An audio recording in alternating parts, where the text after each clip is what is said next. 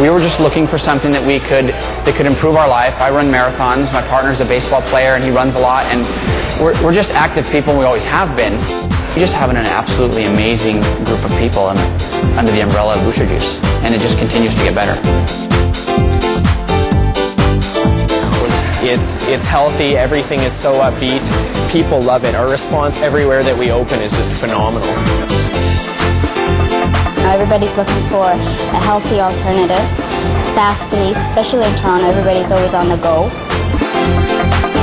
When you walk in, everything from the colors to the, the, the people that we hire to the franchisees to our corporate office to, to myself and my partner, Everything that we do, we look at the experience. It's a, it's a fresh new concept, fresh new idea. Uh, the product is absolutely awesome. Uh, everybody just loves it. Uh, it doesn't matter whether you're 6 or 66 or whatever. It's, it's great. We get a variety of people. We get kids coming because they taste good. We get adults coming because they're concerned about health in their older age.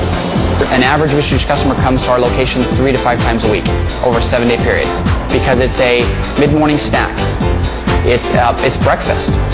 It's lunch. It's mid-afternoon snack. It's dinner. It's given us a chance to be able to have two-way communication and great input from the franchise owners that are working their store seven days a week for the past few years. That's a beautiful thing to have that input. We just having an absolutely amazing group of people under the umbrella of Booster Juice, and it just continues to get better. We don't say anything to try to get you into the business ever. We never have and we never will.